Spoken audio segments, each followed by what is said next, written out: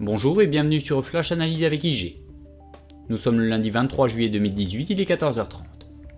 Voici l'analyse du titre Plastic Omnium.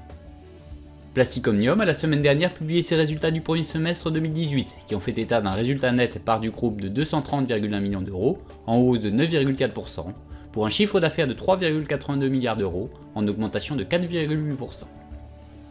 Sur l'ensemble de l'année, l'équipementier table sur une production automobile mondiale en progression d'environ 2%. Du point de vue graphique, le titre a vu sa configuration se dégrader ces dernières semaines suite à l'inscription d'un plus historique à 42,21€ en mai dernier. La succession de sommets descendants et la rupture de la moyenne mobile à 100 jours, indicateur de tendance en voie de retournement, témoignent de ce changement de rapport de force au profit des vendeurs. Le rejet des cours suite au test de résistance majeure, obstacle correspondant en outre à 38,2% de retracement de la vague de baisse, confirme que la valeur reste sous pression et présage du ralliement du support majeur des 33 euros lors des prochaines séances. Ce scénario sera en revanche remis en cause en cas de débordement des 38 euros. C'était le Flash Analyse avec IG.